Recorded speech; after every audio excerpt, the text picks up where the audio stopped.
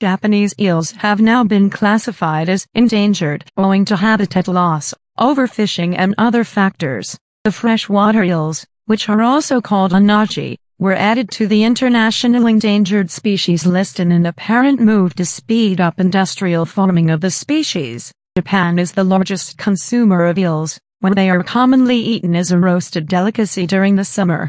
Rich in vitamins and minerals, Japanese eels are also used in Chinese medicine. The International Union for Conservation of Nature said eel populations have declined by as much as 90% over the past 30 years. Other species of eel are also facing various levels of threat due to habitat damage and overfishing.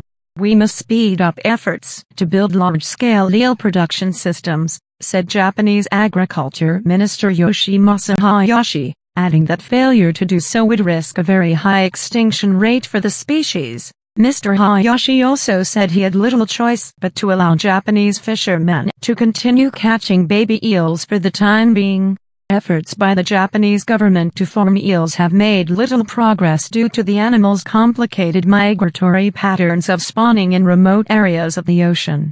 Experts also said barriers along waterways, pollution and changes in ocean conditions were some factors responsible for dwindling eel numbers.